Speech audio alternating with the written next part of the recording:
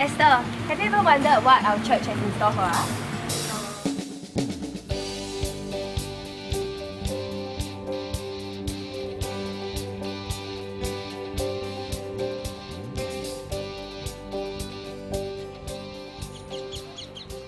KPC is a community saved by grace, living under grace, and learning to practice grace. Here are three things which we hold dear. Word. Jesus Christ is the living Word. By Him, all things were created, and through Him, all people are called to a saving relationship with the living God. Today, Jesus continues to speak to us through the Bible, that is God's written Word. Therefore, at KPC, we are devoted to hearing the Word, living the Word, and sharing the Word. Community. Singapore is a metropolitan city where people live fast paced and busy lives. We have little time for relationship. Yet, when Jesus saves us, He saves us for community. Um, what do you think community is? Mm, to me, community is where I actually feel like it's home, I feel safe. So what about you, Esther? Uh, I feel that community is all about family, having brothers and sisters in church. He calls us to love one another. Therefore, at KPC, we rely on God's grace to make God's family a reality.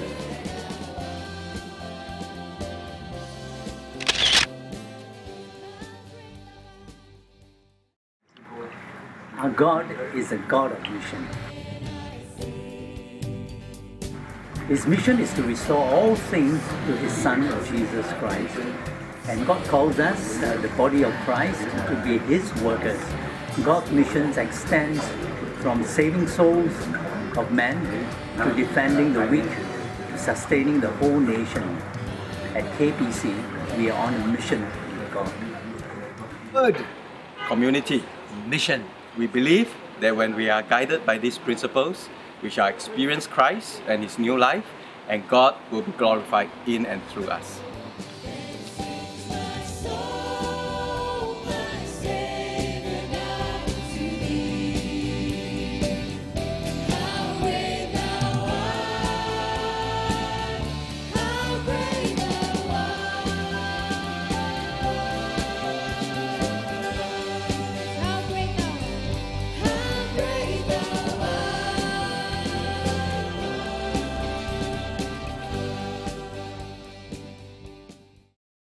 Morning and welcome to Katong Presbyterian Church's 9:30 a.m. service.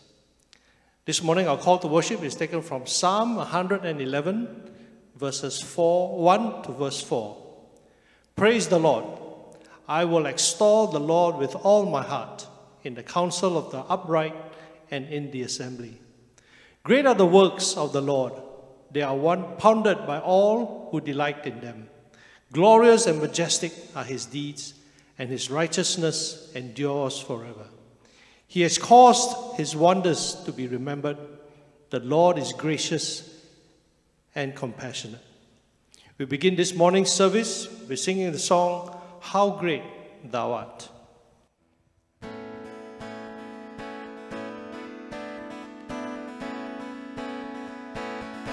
O Lord my God, when I in awesome wonder consider all the worlds thy hands have made, I see the stars, I hear the rolling thunder, thy power throughout the universe display. Then sings my soul, my Savior God, to thee. How great thou art! How great thou art! Then sings my soul, my Savior God, to thee. How great thou art!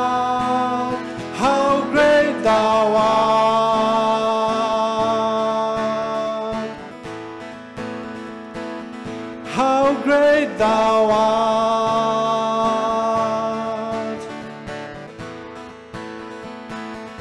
And when I think of God, His Son, not sparing, sent Him to die, I scarce can take it in that on the cross, my burden gladly bearing, he bled and died to take away my sin.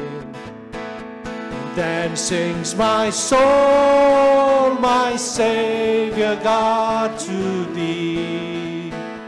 How great thou art! how great thou art. Then sings my soul, my Savior God, to thee. How great thou art, how great thou art.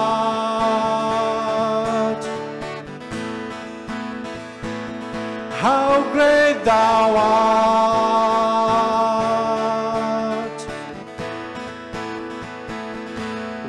Christ shall come with shout of acclamation and lead me home, what joy shall fill my heart? Then I shall bow in humble adoration and then proclaim, My God, how great thou art. Then sings my soul, my Savior God, to thee. How great thou art, how great thou art. Then sings my soul, my Savior God, to thee. How great thou art,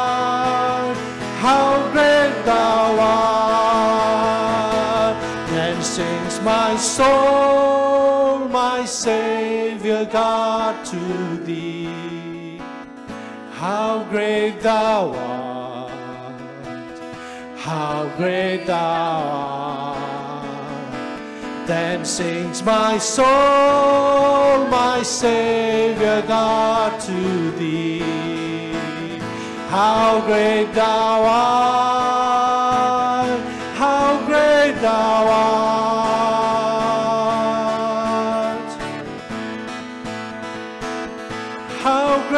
Thou art.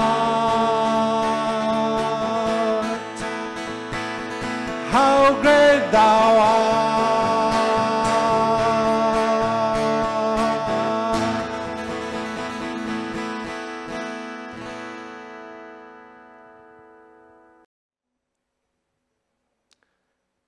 Let us join our hearts in our prayer of confession. And this morning, we will pray Psalm 51. Have mercy on me, O God, according to your steadfast love. According to your abundant mercy, blot out my transgressions. Wash me thoroughly from my iniquity and cleanse me from my sin. For I know my transgressions, and my sin is ever before me. Against you, you only have I sinned, and done what is evil in your sight, so that you may be justified in your words and blameless in your judgment. Behold, I was brought forth in iniquity, and in sin did my mother conceive me. Behold, you delight in truth in the inward being, and you teach me wisdom in the secret heart. Purge me with hyssop, and I will be clean. Wash me, and I shall be whiter than snow. Let me hear joy and gladness. Let the bones that you have broken rejoice.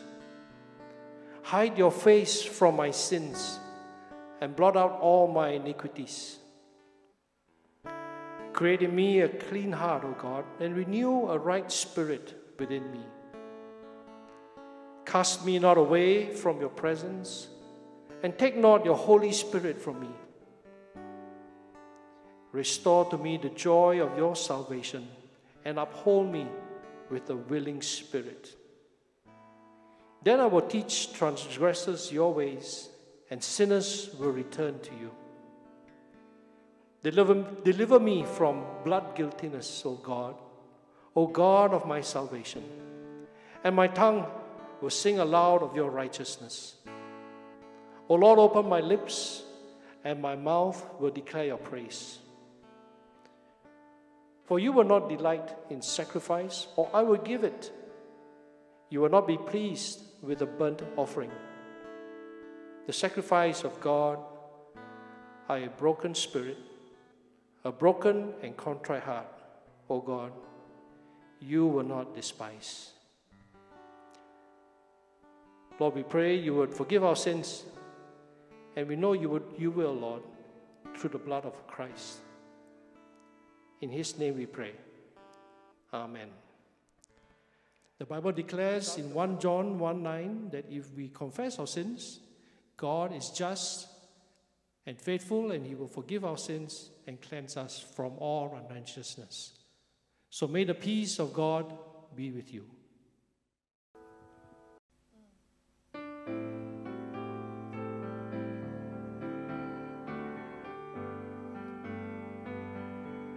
I look to you, you are my healer. I look to you, you restore my soul. I look to you, Jesus Redeemer. For all who look to you will be made whole. I look to you. You are my healer. I look to you. You restore my soul. I look to you. Jesus Redeemer. For all who look to you will be made whole. I look to you, O King eternal,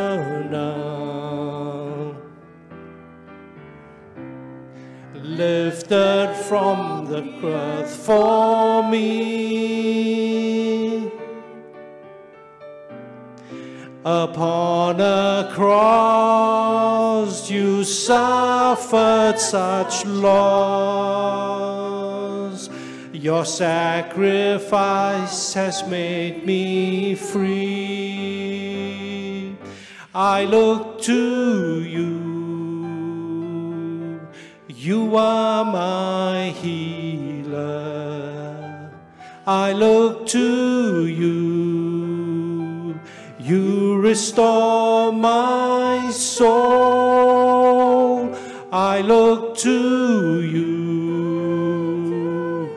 Jesus Redeemer. For all who look to you will be made whole. I look to you, Lord. I look to you. You are my healer. I look to you. You restore my soul. I look to you. Jesus Redeemer.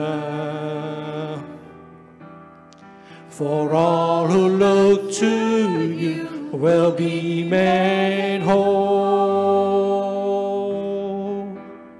For all who look to you will be made whole. unto you dwells in the heavens.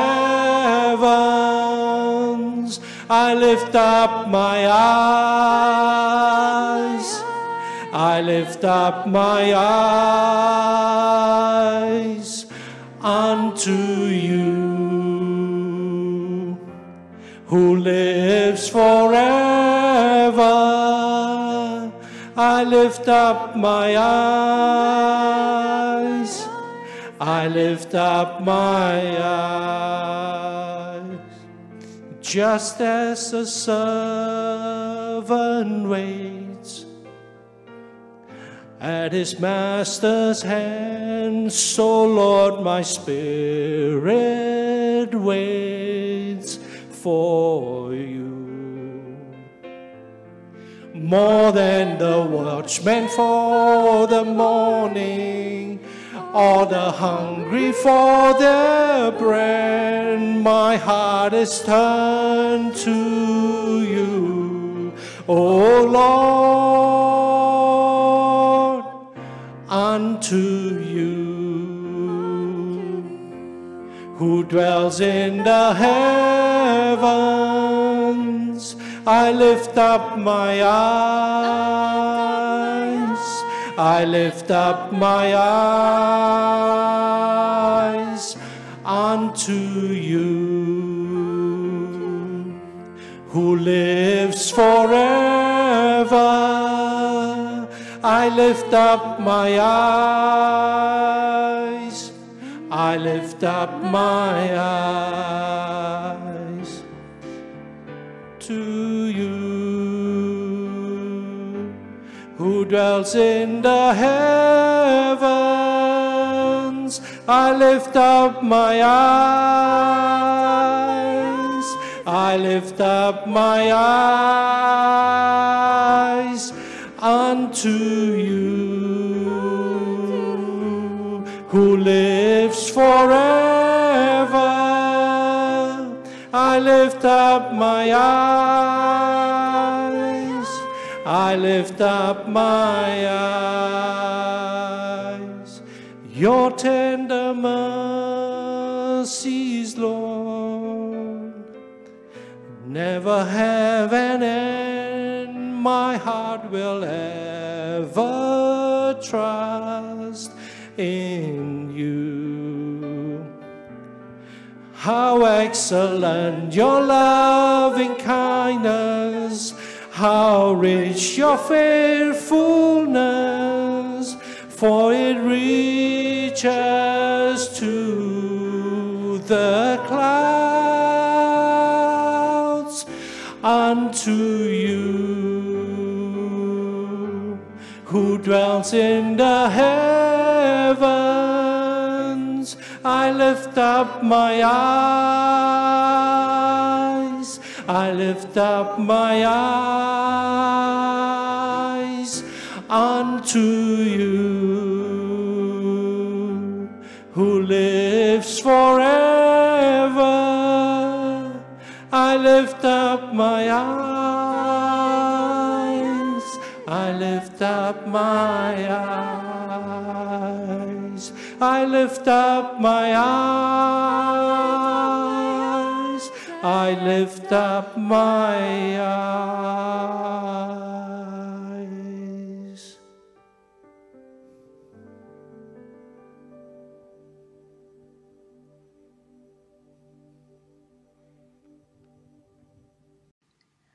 Good morning, church. This is Pastor Lena bringing you highlights from our family news.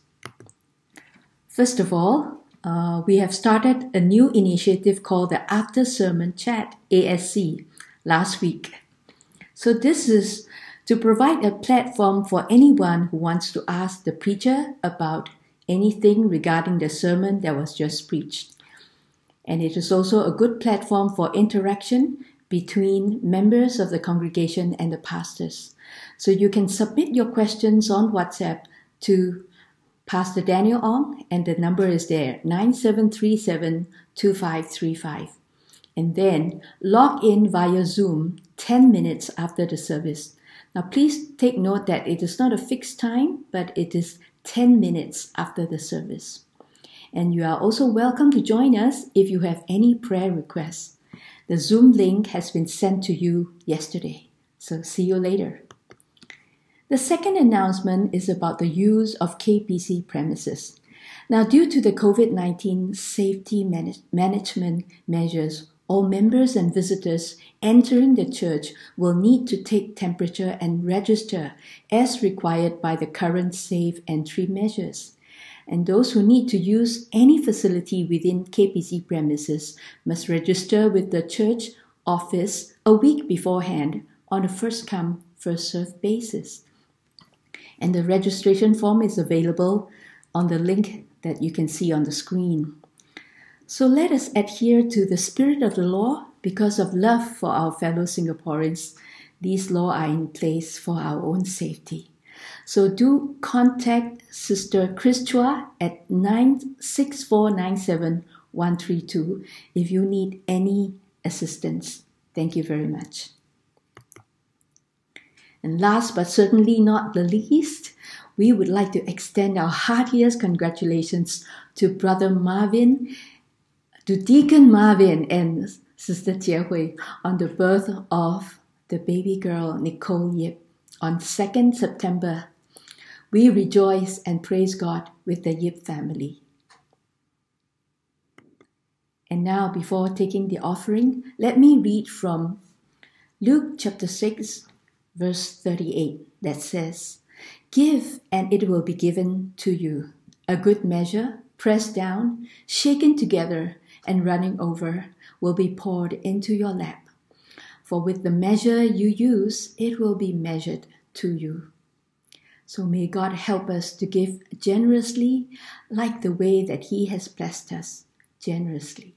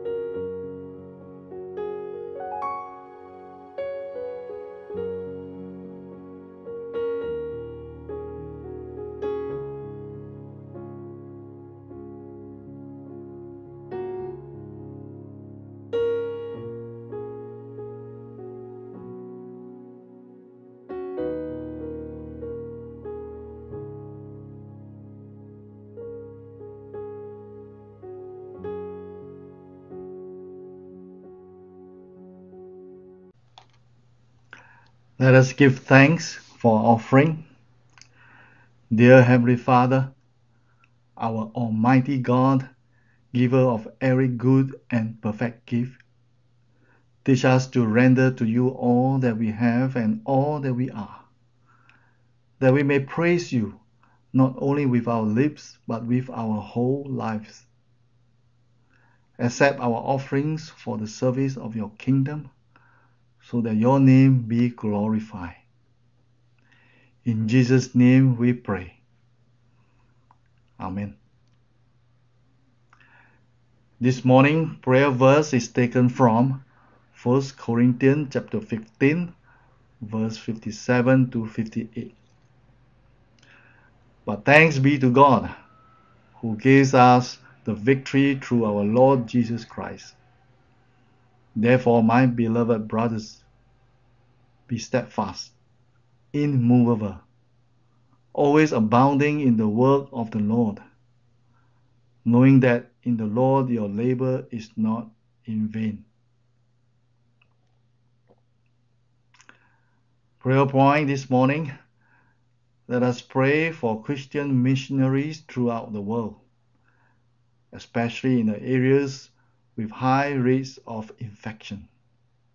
That God will provide them with words of hope and equip them to love and serve those around them.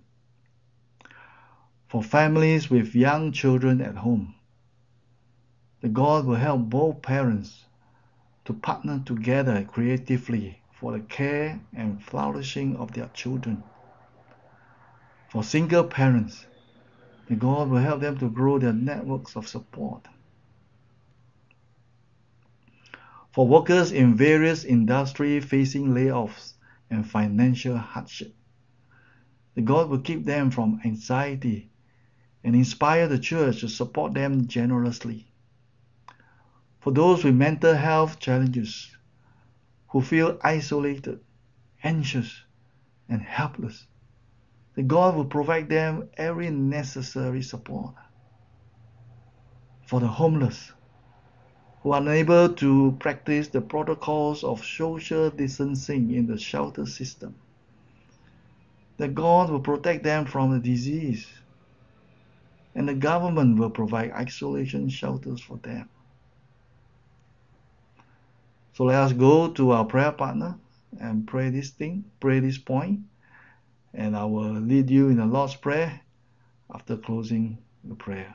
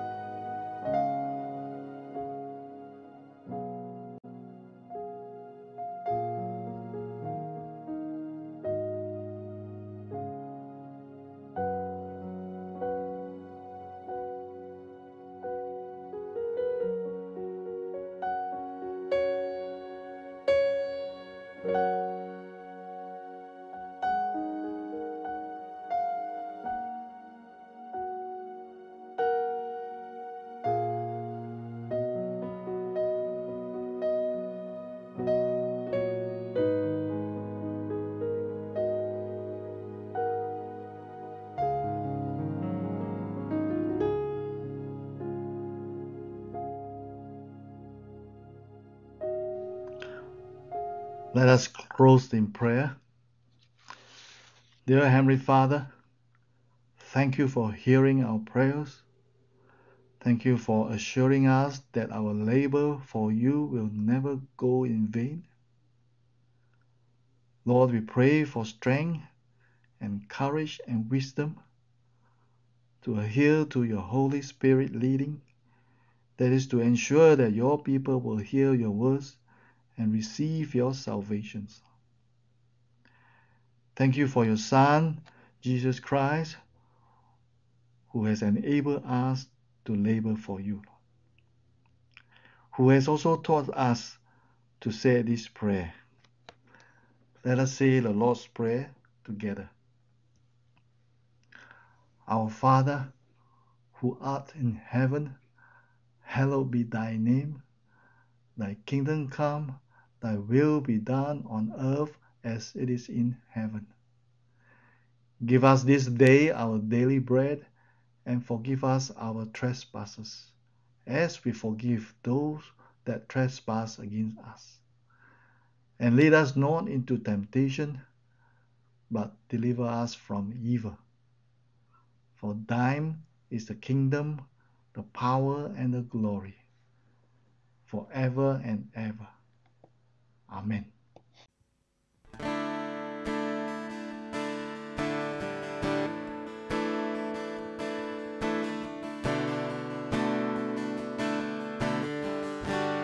I approach the throne of glory.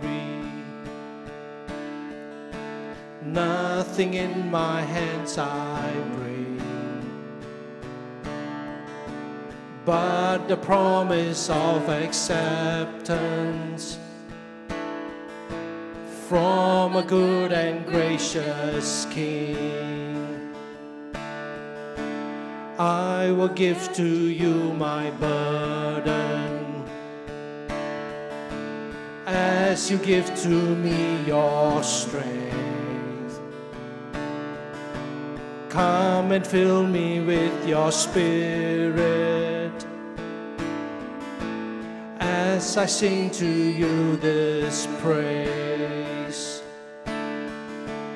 You deserve the greater glory. Overcome, I lift my voice to the King in need of nothing. Empty handed, I rejoice. Deserve the greater glory. Overcome with joy, I sing. By your love, I am accepted. You're a good and gracious King.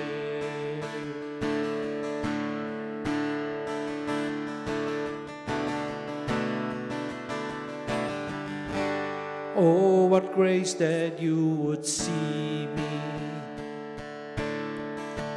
as your child and as your friend. Safe, secure in you forever. I pour out my praise again. You deserve the greater glory. Overcome, I lift my voice to the King in need of nothing.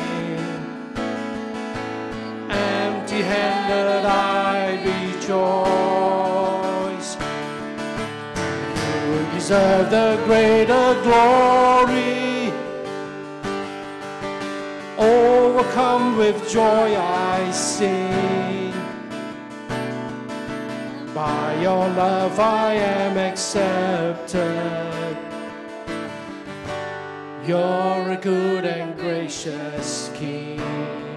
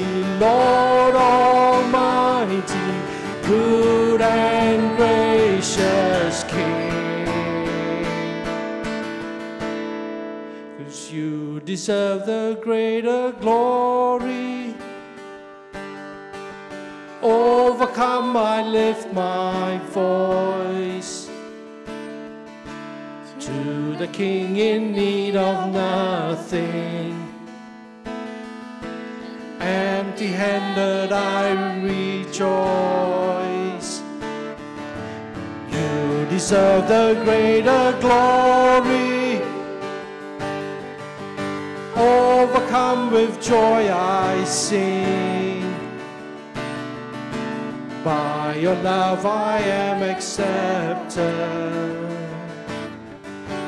You're a good and gracious King.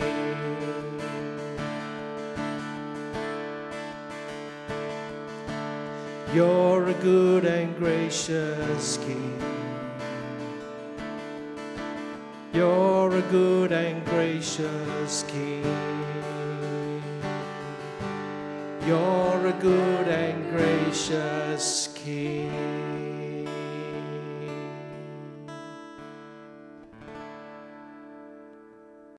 Scripture reading today is taken from Exodus chapter 3, verses 1 to 15.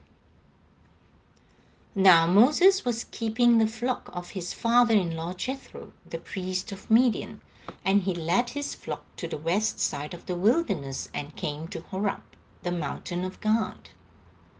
And the angel of the Lord appeared to him in a flame of fire out of the midst of the bush. He looked, and behold, the bush was burning, and yet it was not consumed. And Moses said, I will turn aside to see this great sight, why the bush is not burned. When the Lord saw that he turned aside to see, God called to him out of the bush, Moses, Moses. And he said, Here I am. Then he said, Do not come near. Take your sandals off your feet, for the place on which you are standing is holy ground. And he said, I am the God of your father, the God of Abraham, the God of Isaac, and the God of Jacob. And Moses hid his face, for he was afraid to look at God. Then the Lord said, I have surely seen the affliction of my people who are in Egypt, and have heard their cry because of their taskmasters. I know their suffering, and I have come down to deliver them out of the hand of the Egyptians, and to bring them up out of that land to a good and broad land, a land flowing with milk and honey, to the place of the Canaanites, the Hittites, the Amorites, the Perizzites, the Hivites, and the Jebusites. And now, behold, the cry of the people of Israel has come to me, and I have also seen the oppression of which the Egyptians oppressed them. Come, I will send you to Pharaoh, then you may bring that you may bring my people, the children of Israel, out of Egypt. But Moses said to God, Who am I that I should go to Pharaoh and bring the people of Israel out of Egypt? He said, But I will be with you, and this shall be the sign for you that I have sent you.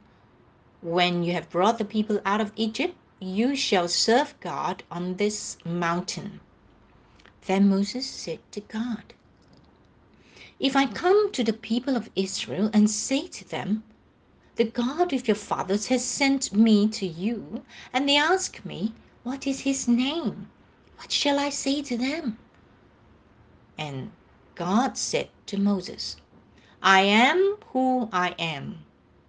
And he said, Say this to the people of Israel I am has sent me to you.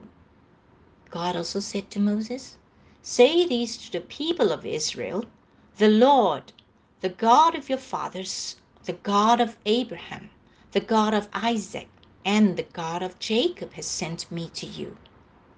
This is my name forever, and thus I am to be remembered throughout all generations. This is the word of God. Thanks be to God. Good morning, church. I'm Pastor Ron. Today I will be bringing God's word to you. What is in a name? A rose by any other name would smell as sweet, isn't it? For those of us as parents, surely you will spend a lot, a lot of time thinking of a name for your child. Not just to make sure, not just trying to make sure it is a nice or a good name, but also making sure that it doesn't sound silly at all so that no one can make fun of him or her in the future. You can ask uh, Marvin and Hui, definitely they have spent a lot of time just thinking about the name Nico. And congrats. As Christian, many of us would also try to choose name that honors God. My son's name is most famous for being the name of the angel Gabriel, God's special messenger to Mary. But we didn't change we didn't name him after the angel. We chose the name because in biblical Hebrew the name means a man of God. It comes from a root word that describes a confident, strong, bold man or a warrior. The L ending refers to God Elohim himself. And that name sums up our prayers and our hopes for our little boy that he will be a fighter for the Lord, a strong man who finds his strength and courage in God himself, a real man of God who will pursue Christ all the days of his life. His Chinese name, Enter, is a Chinese term describing the abundance of God's grace a name we gave to him to honor the boundless grace that God has showered upon us. And the Bible is a very good place for finding names as well. Naming of people, places, things are very significant affairs in the Bible, especially in the Old Testament. Many key figures in the Bible have their special names that reflects their parents' experience with God. Hannah named her son Samuel because it means God heard her prayer. Naomi cried and asked to change her name to Mara because it means bitter. Jesus, in the Greek form of the name Joshua, which is Hebrew for Yahweh saves. And in today's sermon, we will examine the name of God the way He has revealed to us. There are three points that I would like to touch on today. First is the great theophany of God. Who am I? Second, the matchless name of God. I am who I am. Third, the divine assurance of God. Three signs. And the first point, the great theophany of God. Who am I? That's found in chapter 3, verse 1 to verse 12. Have any one of you ever heard God speaking to you in a loud voice? I can't imagine what will it be like. Will it be thundering loud voice or a whisper? In our text today, we see that how Moses had the privilege of speaking with God personally in a very real and present way. Moses heard the voice of God calling out to him at the sign of the burning bush. What is the significance of the burning bush? Biblical scholars call it fire theophany. What is theophany? The term theophany means the appearance of God. This is normally used to refer to instances recorded in the Bible where God appeared in some ways to human. He may not appear fully, as we all know, but he revealed himself partially or through some medium, like a pillar of cloud or a fire, in that sense that we are reading in Exodus. Our passage today reminds us that even the Bible grades, there are limitations to how God can reveal himself. We read that by that, that Moses himself had to remove his sandals because he was standing on holy land, the holy ground of God. And there he speaks with God in the form of the burning bush. But with this, we see that God is not a God that's far removed from his people. Instead, he has a history with his people. He is with Israel's forefather. God has been with his people in the past. He will be with his people in the present and also in the future. This is the assurance that Moses badly need, needed to know Yahweh's ever present and faithful providence since the time of Abraham in Genesis 12 and 15. The God of the past is also the God of the present. And in verse 7 to 10, the Lord say, I have seen, I have heard their cry, I know their suffering. I have come down to deliver them out of the hands of the Egyptians, to bring them out of that land to a good and broad land, a land that is flowing with milk and honey. Church, when you are down, when you are desperate, when you are hopeless, who do you look for? You look for someone reliable, isn't it? You go back to the person whom you can trust and have your welfare at heart, right? You don't go back to the person who is unfaithful, who betray you. The God of Abraham, the God of Isaac, and the God of Jacob is the person that Moses can go and look for. Yahweh has a proven record with his people, an impressive credential in that sense. That is his character, that is who God is, the real God who looks after his people. God's here with compassion and didn't stop there. He went on to declare his rescue plan in verse 8 and told Moses the exact territories that God has planned for to give to his people. And this land will be conquered and will be fought by and won by Joshua himself.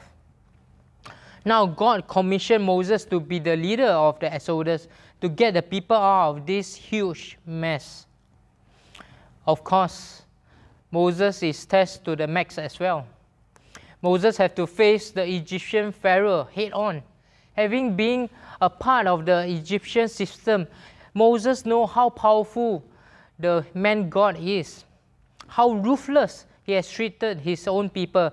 But to go up against the Egyptian human God, Moses, in his humanness, react in shock, like any one of us would. In verse 11, Moses says to God, Who am I that I should go to Pharaoh and bring the children of Israel out of Egypt? Many of us here would will agree with me that there is some fear in his words, isn't it? After all, Moses had run away from Egypt because of what he has done before. He is now living a quiet, peaceful life away but what? I have to go back there and what? I had to take everybody out too? How can? I'm sure God also knows this. And He's not trying to throw Moses into deep end for no reason. When God calls us to fulfill His mission, He will surely equip us with everything that we need.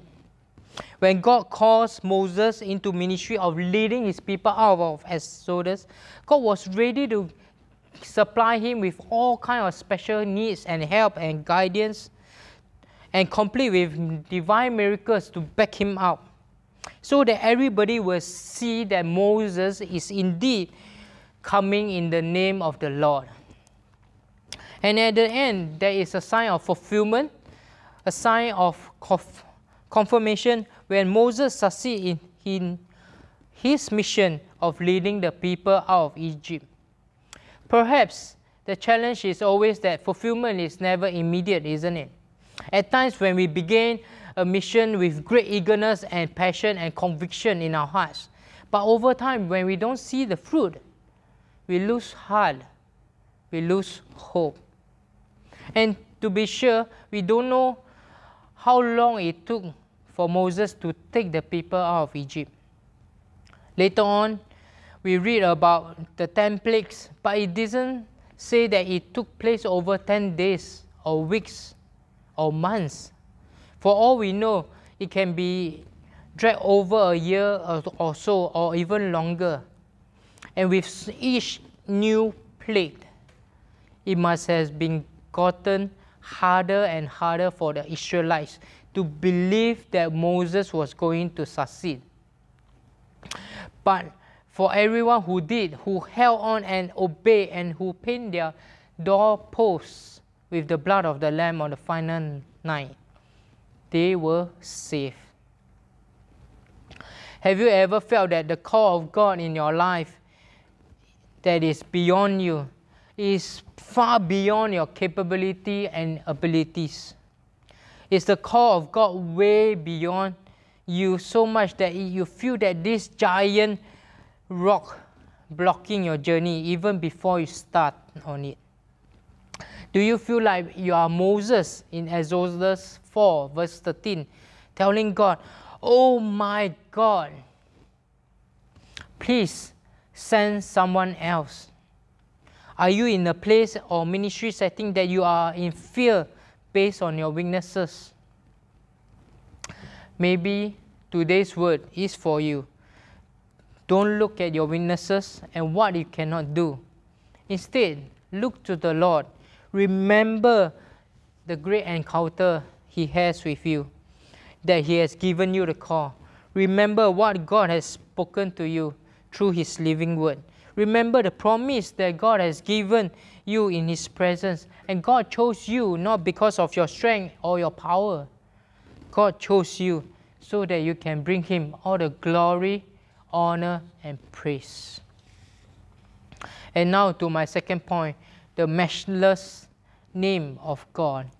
I am who I am in Exodus 3 13 to 22. What is the name of God? What does it entail? What is the meaning and significance of it? That's the million dollar question that Moses need to know.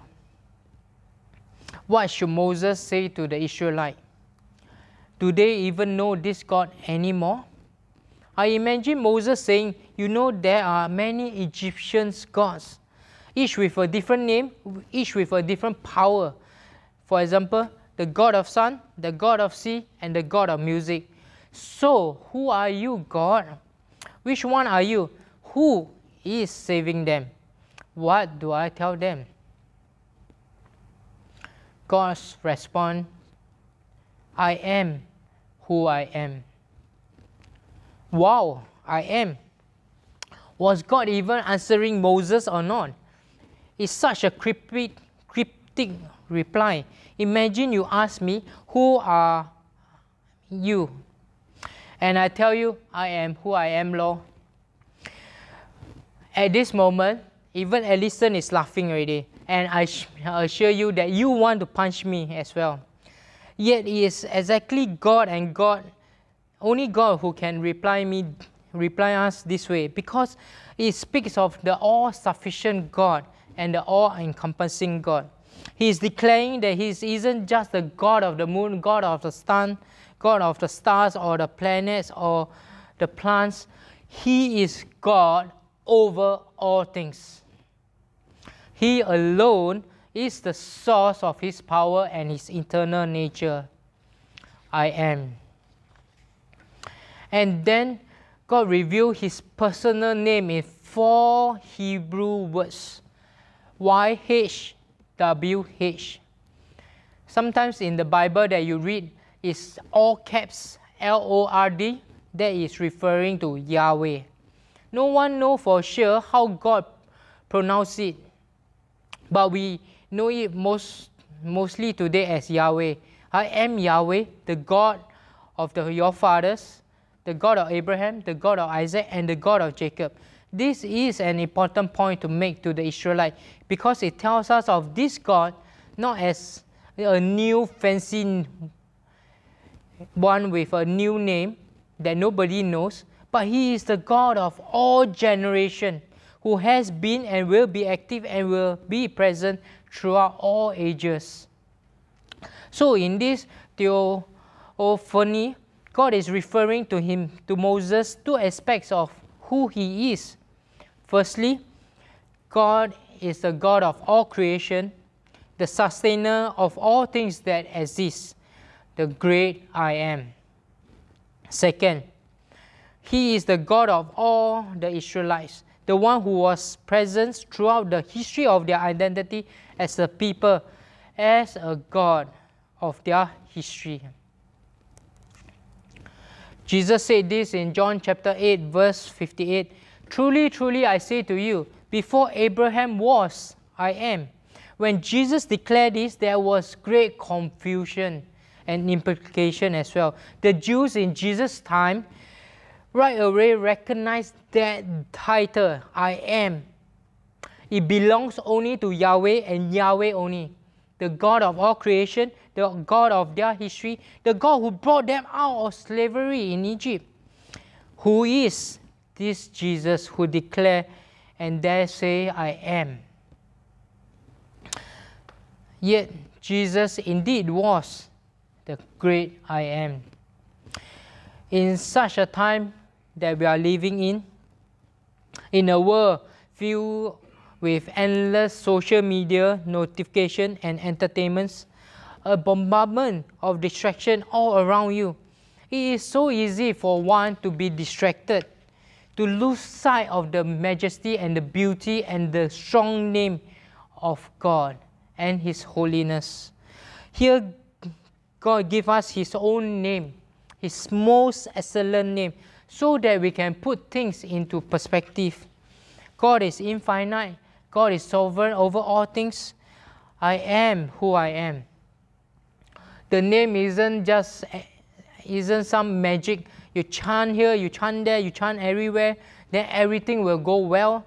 When the Israelite hear this name, it's not like any magical thing that will help their name become better. But God knows this name gives them the confirmed guarantee chop that Moses who come in the name of the Lord will deliver them out of their misery. One of Gabriel's favorite things to do at the swimming pool is to jump into the water and create big splashes. He has had some swimming lessons, but still, he isn't a confident swimmer. Yet he had, he had no worries about jumping in to the deepest end of the pool as long as daddy or mommy is there. There is no moment, not even one moment of hesitation for him as he jumped and shouted out for us, Daddy, here I come, catch me. And then he dived in. Children have a lot of things to teach us about faith, isn't it? Gabriel's blind faith and trust in our ability to catch him is, a, is what allowed him to jump without fear. For him, as long as daddy is there, as long as I can call for mommy, I can do all things. This is what trust in the name of the Lord really means.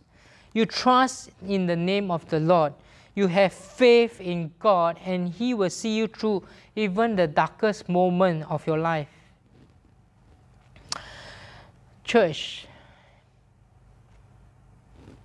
what are you going through right now? Is your marriage on the rocks? Are you going through a tough time at home? Are you facing a great giant at your workplace? Are you feeling uncertain about the future and having difficulty finding a job? Are you putting your faith in the false God rather than, rather than the one true God, Yahweh? The name that is above all other name, I am. Now to the last point, the divine assurance of God. Three signs that's found in Exodus 4, verse 1 to 9. When you are in doubt, when you are uncertain of the future, what do you think? What do you ask for? If you are Moses, you will ask for a sign. You ask for some a form of assurance, isn't it? He has humbly accepted his job. But I think he's just like any one of us. We will have we will keep having doubts in our heart and in our mind. We keep hoping for more signs that tell us, okay, can proceed. So God was very kind to Moses. He didn't just give him one, but he gave him three signs. The first was turning Moses' staff into a snake. The purpose is not to scare the people of God, but it's a display, a demonstration of God's power. I'm reminded of a recent visit to the river safari that even though many people see a snake, they say, Eee! They are so scared of it. But actually, the right response for them is to say, wow. And wow, indeed. To turn a piece of wood into a living snake, a real life snake in front of you. This is to demonstrate the power of God. And one can be assured that God's power is upon Moses. The second sign affect Moses personally putting his hand into his cloth pocket and turning into some form of leprosy or skin disease, but then putting it again makes it completely healed. Surely we, in today's time, we have many magicians who can perform illusions where things can appear out of nowhere or transform in different things. Perhaps that first sign of the snake and of the staff may not be sufficient. Maybe it's just a trick eye performance. But so, the second sign, make it personally for Moses. Surely your own hand, you know what you have and what you should not have at all. And when you develop a rash, you will surely know. The sign revealed that God was not just the Lord over all things, but He has the power over us human. Only the one with power over us has the ability to affect us with pain, but also have the ability and the power to heal and to restore us. And now to the final sign. The third sign brings us to the enemy's territory. The river now is a significant place for Egypt, as it is the source of life where they receive water nourishment, and food. It's also worshipped as a god for the Egyptians. So, why make a miracle happen there? For a god of the Israelites to turn the Egyptian life giving river into blood tells Moses and all the Israelites that God has power over the enemy as well. It is a hint of what is to come as Later on, the Egyptians will receive this as one of the ten plagues, where they will worship river of life will turn into the river of death. In conclusion, we have heard about the great visitation of God and the call of Moses. We have heard about the matchless name of God. I am who I am we have heard about the divine assurance of God, the three signs that God has graciously given to Moses. Where is God calling you to? His promise is that His presence is with us. Where are you? What are you going through? His promise is that His name is with you. Are you doubting the faithfulness of God? His promise is, His assurance is with you. There's, there's a song that ministers to me recently. The title of the song is Goodness of God. I won't be singing the song. Instead, I will read out the lyrics and then you can listen with your heart. I love you, Lord, for your, may, your mercy never fails me. All the days I have been held in your hands from the moment that I wake up until I lay my head. I will sing of the goodness of God. And all my life, you have been faithful. All my life, you have been so, so good. With every breath that I'm able, oh, I will sing the goodness of God. I love your voice. You have led me through the fire, and in darkest night, you are close like no, like none other. I have known you as a father. I've known you as a friend, and I live in the goodness of God. All my life, you have been faithful. All my life, you have been so, so good. With every breath that I'm able, I will sing of the goodness of God. Let us pray. Father, Lord, we pray and you help us to really worship you and no one else. Take away any false idols, any kind of false hopes, any kind of false God in our hearts that we can only cling on to the name of God, the great I am. Amen.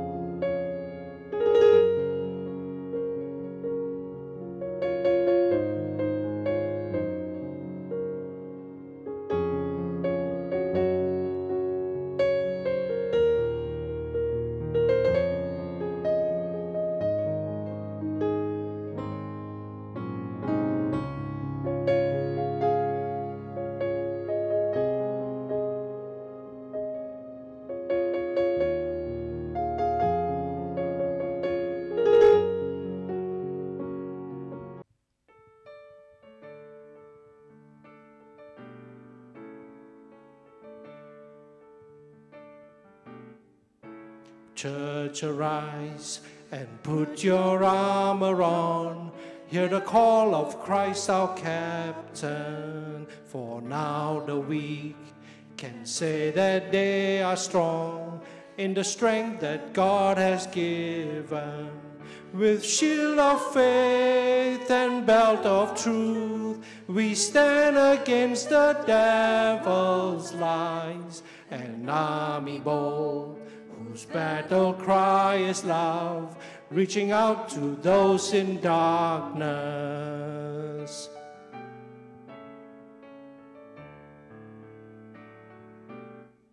Our call to war, to love the captive soul, but to rage against the captor, and with the sword that made the wounded whole, fight with faith and valor. When faced with trials on every side, we know the outcome is secure, and Christ will have the price for which he died, an inheritance of nations. Arise, shine, for your light has come. Arise, shine, for the risen sun. Lift your eyes, we are his radiant bride. Arise, O church, arise.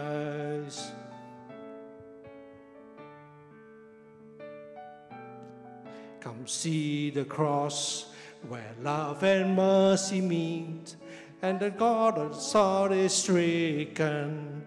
Then see his foes lie crushed beneath his feet, for the conqueror has risen. And as the stone is rolled away, and Christ emerges from the grave, this victory march continues till the day every eye and heart shall see him.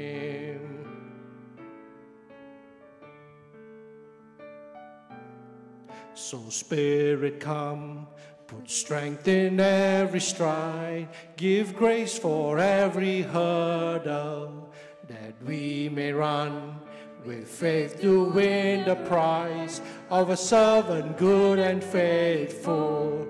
As saints of old still line the way, retelling triumphs of His grace, we hear the call and hunger for the day when with Christ we'll stand in glory. Arise, shine, our light has come. Arise, shine, for the risen sun. Lift your eyes, we are his radiant bride. Arise, O church, arise. Arise,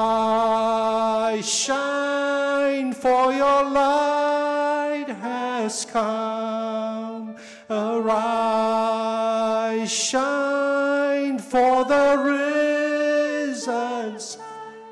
Lift your eyes, we are his radiant bride. Arise, O church, arise. Arise, O church, arise.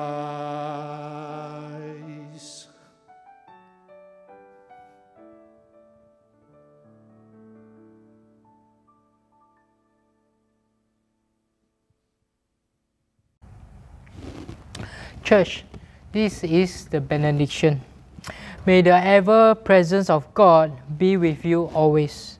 May the great name of God, Yahweh, the God of Abraham, Isaac, and Jacob be the name that you put your faith in. May the divine assurance of God assure you in all that you do, especially in darkest moment of your life. Amen. Please come for the after service chat. Log in to the link after the service. Thank you. 10 minutes after the service. Thank you.